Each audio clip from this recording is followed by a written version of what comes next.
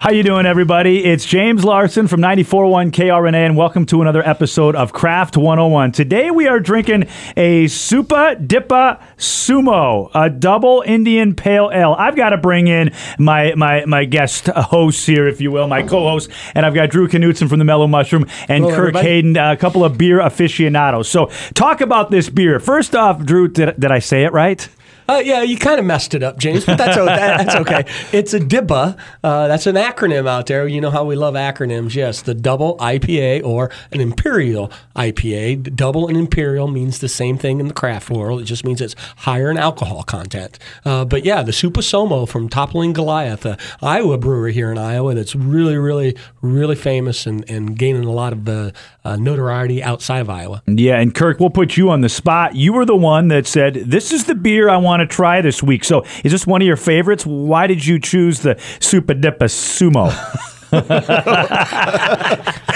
it doesn't flow off the tongue like Bud Light, does right, it, yeah, it No. does it. Um, you know, I think it's ju- it's just excellent. I picked up uh, I, I, like a six pack of bombers, and uh, just I think it's excellent. They have a King Sue. They just do a really nice job with their double IPAs up there, and uh, as they do with all their beers, uh, Pseudo Sue is probably uh, the most famous, I think, out of their beers. The Golden And, uh, Nugget yep, is another and good Golden one. Nugget. Um, but no, I think it's an excellent double IPA.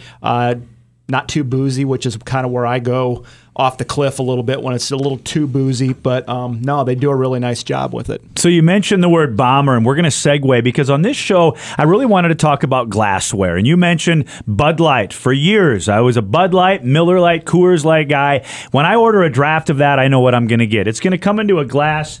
Similar to this one right here, this pint glass, but we have other glasses here. And uh, Drew, I want you to talk about that. In the craft beer world, uh, not all the glasses are the same, and I think people could be a little surprised when they order a certain beer and get a certain glass. Yeah, just like our flavor in craft beer, glassware is never going to be uniform nowadays. So, depending on the bar, depending on the franchise, uh, the mom and pop, if you will, the tap room that you go to, everybody's going to have a little different style of glass. It really comes down to ounces. We understand that certain beers are going to be poured in certain ounces. So, for a DIPA, for a double IPA, you're always going to get less alcohol, and you have to expect that. You're not going to want to drink two glasses of, of 8% alcohol like you do Right. a 5% alcohol. So that's the this, this little glass right there. That, that one there is uh, called a Belgium style water glass. Um, uh, I, I think cu- customers are used to calling it maybe a tulip glass, uh, but uh, that one there, uh, we serve it actually in a goblet. We don't have an example today, but uh, in, in a, big rocked g- goblet glass. Looks like uh, what Jesus drank out of. will. Right. And and yeah, so um, it allows the bartender not to overpour. So uh, you're usually going to get around that 10 Sure. ounces of beer when you order a a, high, a beer higher in alcohol content. No, Kirk, uh, you, you uh, for years, we've been friends for a long time. You were always a Bud Light guy. Mm-hmm. When you first started getting into this craft beer, were you a little surprised at some of the glasses that the beers were served in? Right. I think your first reaction is, you know, I'm used to getting the Bud Light in the 16 ounce pint glass, and you know, it gets sat down in front of you, and then you order that double IPA, and they bring this glass over, and the first reaction is, geez, I. I kind of got ripped off here. I mean, I paid six, seven, eight bucks for that glass of beer, and you gave me 10, 12, 13 ounces. Yeah. what's up. But at, at the end of the day, you just drink it slower, um, and it's you know it still all averages out. You're still getting the same. It's just uh, you know less fluid ounces, I guess. Less fluid ounces, alcohol. You're still getting the same amount of alcohol. It's like drinking wine. Best way to uh, compare it, you know, everybody knows that you get about six ounces in a glass of wine, uh, and and because alcohol content is way up there in Right. wine. So that's that's the difference between the two. Uh, uh, Kirk, uh, real quick, I know a lot of our listeners out there will have fun with this.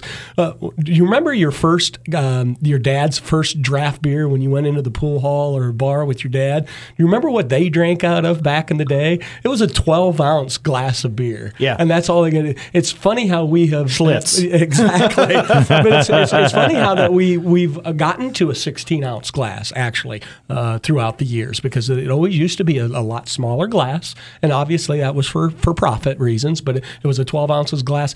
25 cents. I always remember my dad throwing up on the bar. 25 cents for a, for a 12 ounce it- glass of beer. Why would it be any different? It's a 12 ounce can. Why did we get to a 16 ounce glass? Exactly. Which is kind of, you know, Jaymz, when we look at the uh, the bomber, how did we get from a 12 ounce bottle Right. to a 22 ounce bottle? Yeah, it's yeah, it's it's changing, and I like seeing it. This is fun for me, as you guys know. I'm new to this, so uh, it's exciting, and uh, we're making beer drinking great again. All right, before we go, guys, I want to talk about an event that our radio stations are putting on here at Town Square Media, the Cedar Rapids Beer Summit in March. All the information is on krna.com. You were there last year. What's one takeaway for you, Kirk, from the Cedar Rapids Beer Summit? Oh, I thought it was a lot of fun. I mean, that was my first time there, obviously, and 100 and, beers on uh, tap. 100 beers on tap. I think I probably had 95. um, no, but you know, there's just a great variety. I mean, everything from a jalapeno infused beer to peanut butter to uh, great IPAs and lagers and porters and stouts and everything. Um, there was great variety, and uh, I expect it's probably going to even be better this year. Yeah, it's such a good place just to go and sample all the different beers. So, again, all the information right here on this website, 941krna.com. Guys, as always, thanks for joining me. Next week, we'll do this again. Any ideas, Drew, on what beer we'll be sampling next week? Do you think we got time for a quick question? Jaymz? real quick, Yeah, real quick. Real quick. It, um, he asked about chilled glasses. Terry uh, asked about chilled glasses. Okay. Am I supposed to drink craft beer in a chilled glass? Great question. Uh, the answer is uh, what what the brewers will tell you is no. Uh, you'll you'll want to make sure that your glass is at room temperature because you get all the flavor and it's not uh, not masked by any moisture. Right, gotcha. All right, guys, thank you so much. We're going to continue drinking our Supa Dipa Sumo, something like that. Anyway, it's Craft 101 with Jaymz, Drew, and Kirk.